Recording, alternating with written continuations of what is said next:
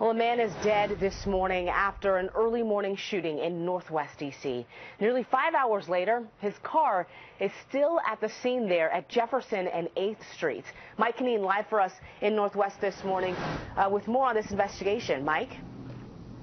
Jimmy, I can tell you that vehicle has been removed. The crime scene tape taken down by police. There is a small stretch of tape around this corner here at 8th and Jefferson Streets, a small police presence, but these roads have now reopened and life is getting a little bit closer to normal here in Brightwood Park. DC police tell us the shooting happened around 1:45 a.m. here at this corner of 8th and Jefferson, just a couple blocks east of Georgia Avenue. MPD confirms this was a homicide. A man in a vehicle was shot in the head, and when first responders arrived, he was unconscious, not breathing, pronounced dead here at the scene. At this point in the investigation, police have not released a lookout, a description of the shooting suspect. They're urging anyone who heard anything or saw anything overnight to contact them. We're keeping a close eye on this investigation. We'll bring you the latest details as soon as we get it into the newsroom or here in the field. Reporting live in Northwest, Mike Conneen, ABC 7 News.